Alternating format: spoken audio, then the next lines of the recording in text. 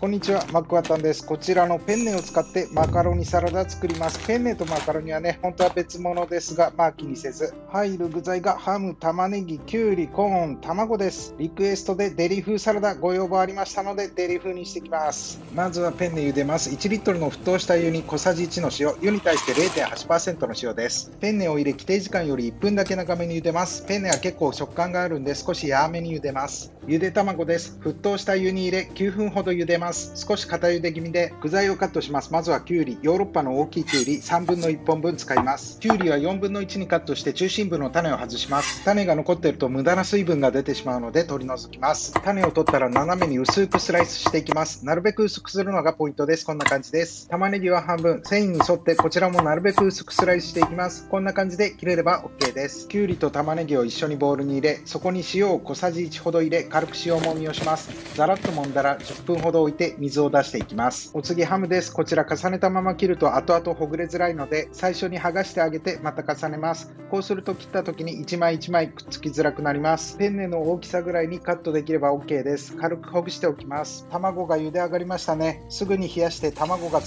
たくなったら殻を剥きましょう。ペンネも茹で上がりました。ざるに開けてそのまま10分から15分放置し、水気を切り粗熱を取ります。ここでしっかり冷ますと保存期間が少しだけ長くできます。さて、塩もみしたお野菜が10分経ちました。結構水が出てきましたね。一度ペーパーに開けてよく水気を絞っていきます。サラダ類は基本的に何でもそうですが、水気が残ったまま仕上げてしまうと味がぼやけてしまいます。それから水分をしっかり切ることで日持ちもしやすくなります。よく水気が切れれば OK です。続いてマヨネーズソース作っていきます。材料はこんな感じです。ボウルに調味料を入れていきます。マヨネーズ、粒マスタード、お酢、塩、粉チーズ、胡椒、砂糖を入れます。粒マスタード、粉チーズあたりを入れるとお店っぽい感じの仕上がりになります。粒マスタードは少し入れても辛くならないのでお子様でも食べれますね。ざらっと混ぜたら準備完了です。こちらのボウルに準備したものを入れてきます。水切りしたきゅうり、玉ねぎ、そしてハム。卵は殻を剥いたら軽くほぐして入れます。後で混ぜて崩れるのでザクッとほぐせば OK です。続いてコーン。こちらは缶詰を開けしっかりと水切りをしました。コーンを入れると甘みも出るのでサラダ嫌いなお子様にも喜ばれそうですね。続いてペンネ。しっかり乾きましたね。15分ほど置いておきました。こちらを入れて混ぜていきます。ソースが絡むように下の方からよく混ぜていきましょう。最後にオリーブオイルを少しだけ垂らします。ペンネは結構乾きやすいので最後に潤いを与えてあげます。ザクッとひと混ぜしたら完成です。盛り付けていきます。なるべく早めに食べきるのが良いですが余った場合は冷蔵庫で2、3日は日持ちします。